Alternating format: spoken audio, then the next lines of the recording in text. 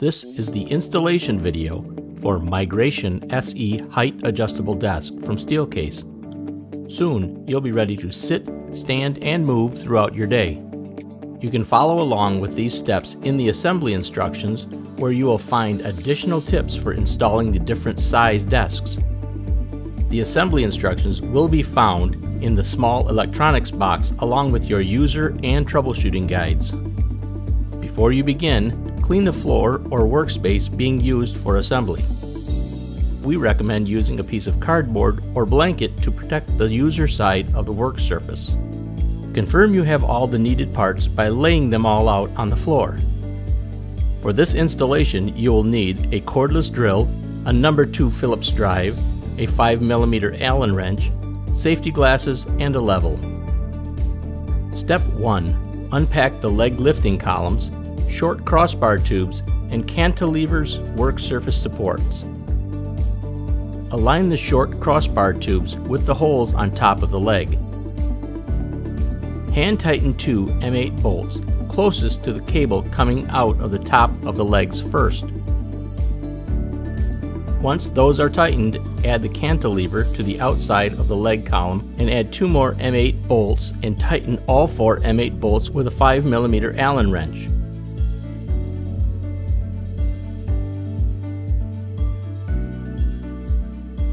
When the first leg is built, set it aside. Step 2. Repeat this process for the other leg.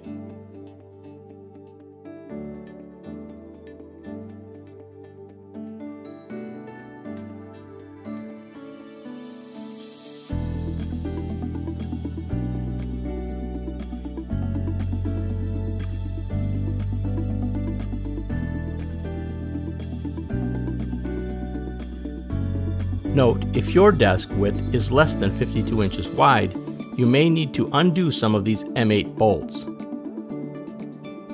The front edge of the work surface can be identified by pilot holes near the edge for the user switch. Note, for T-legs, the leg assemblies aren't handed. For C-leg applications, place the larger portion of the cantilever towards the front edge of the desk. Once both leg assemblies are built, place assemblies on the work surface. Place both legs with the cross tubes facing inward towards the center of the desk. Step 3. Locate the two long crossbar channels. Insert the long channel into the short crossbar tubes. Note the open side of the long channel should be facing up when installing. Repeat this process on the other leg assembly. Slide the long channel into the cross tube and tighten the bolts. Notice you should see four silver threaded holes facing up. If this is not the case, you likely installed the short crossbar tubes upside down. Hand tighten all four bolts, but leave the screws loose.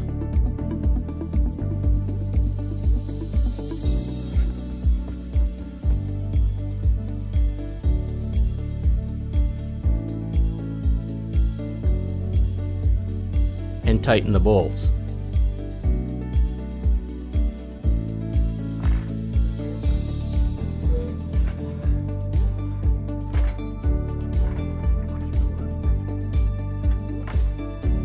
Step 4. Locate the feet.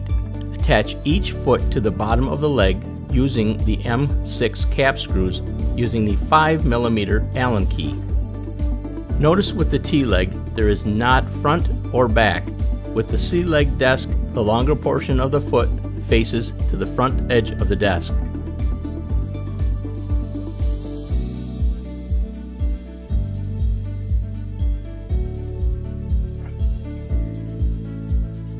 Loosen the glides once the feet are attached.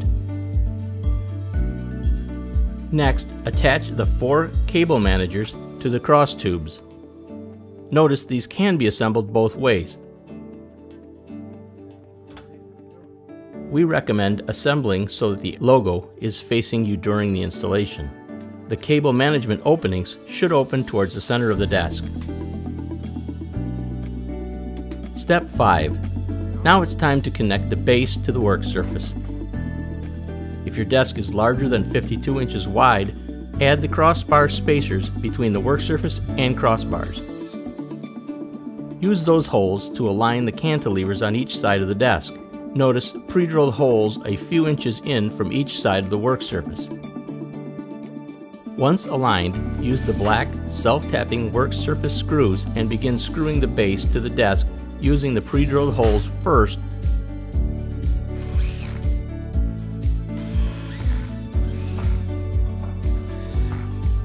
then screw in the remaining spaces on the cantilevers. The screws are self-tapping and do not need additional pilot holes. Drive two additional screws into the center of the desk through the spacer and long crossbar channel. Once the base is attached to the work surface, tighten the M10 screws on the short cross tube sections from step 3.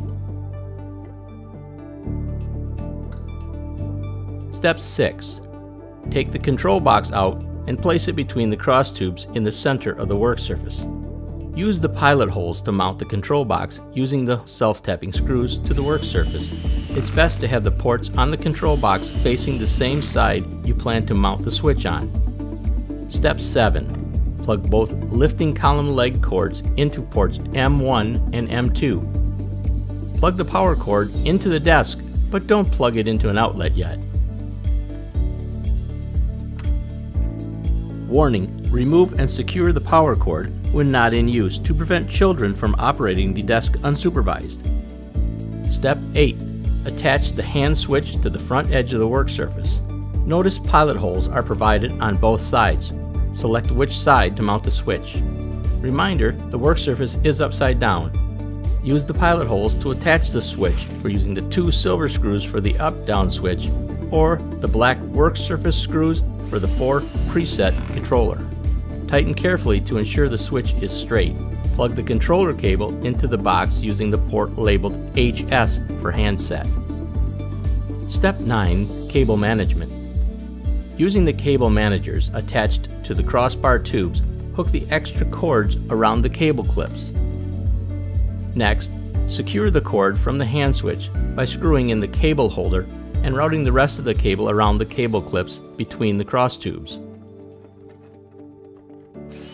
Use the white cable management clips to secure the access controller cord using the silver screws provided. Once the cables are managed to your liking, it's time to plug in the desk. Plug the desk into power. You will hear two clicks letting you know it was assembled correctly. Use the hand switch to confirm the desk is moving up and down. If the desk does not initially move, hold the down button for 10 seconds to initialize the desk. The desk will give you a small up-down movement to let you know it's been initialized. Try again to adjust the desk both up and down.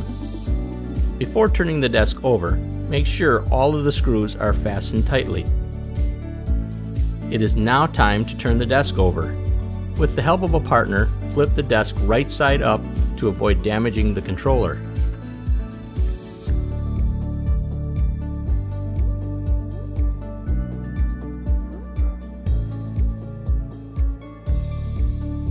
Use the glide to level the desk from side to side and front to back. Warning, if not set up properly, this product could cause serious injury due to pinch points between moving desks and other objects. Verify the height adjustment range is free from obstructions above and below the work surface within the range of travel. Always make sure there is a 1 inch minimum gap between all work surface edges and adjacent furniture or walls. Lastly, read the user guide for other safety related messages and tips on how to use your desk. Keep it and the troubleshooting guide in a safe place if ever a problem were to occur. To fully utilize the benefits of a height adjustable desk, we encourage you to sit, stand, and move throughout the day. Because at Steelcase, we're inspired by the idea that your next posture is your best posture.